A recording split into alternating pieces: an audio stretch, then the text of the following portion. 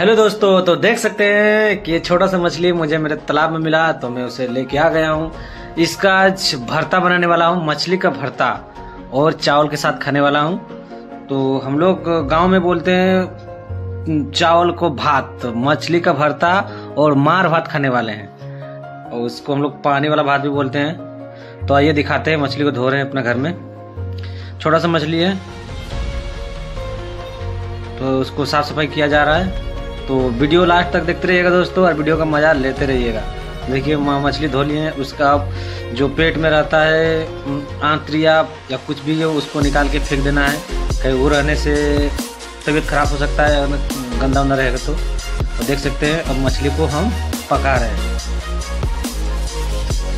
तो और वीडियो को मज़ा लेते हैं दोस्तों तो देखते रहिए।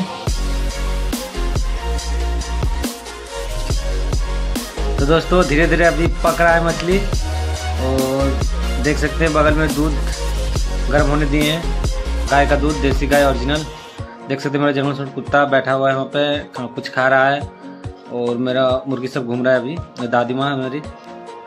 तो देखिए, एक तोता भी है, रखे हैं हमें। डबल था तो एक उड़ के चल गई, एक बचल है। अब देखिए, पूरा मछली पक गया है और इसको भरता बनाना है। इसमें नमक ले लिए, थोड़ा सा मिर्चा ले लिए, थोड़ा सा तेल। अब इसको भरता बनाने वाले हैं।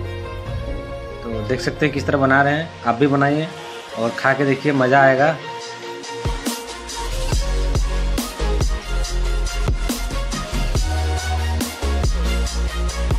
तो इसको जो मुंडी है, मुंडी को तो खाना नहीं है। मुंडी फेंक देना है।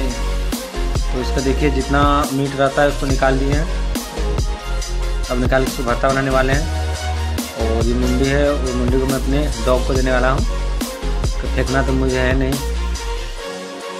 मेरा घर में कुछ भी चीज़ फेंकाता नहीं है, सब कोई ना कोई खा लेता है चुन के। और कुर्मी मातों के घर में अधिकतर 90 परसेंट घर में तो सुबह सुबह मार भत्ता बनता है। मार भत्ता, टमाटर की चटनी, आलू की चटनी, बैगन भरता, मछली भरता मेरे घर में फेवरेट है, मछली तो बनते ही रहता है। और मीट मछली खाना मुझे बहुत शौक है। देख सकते किस तरह भरता बना रहे हैं।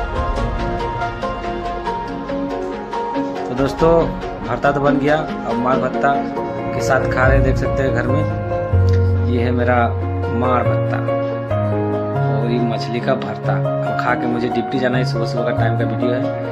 तो दोस्तों, मेरा वीडियो अच्छा लगता है तो प्लीज़ सब्सक्राइब कर दीजिएगा लाइक कर दीजिएगा शेयर कर दीजिए कॉमेंट कीजिएगा।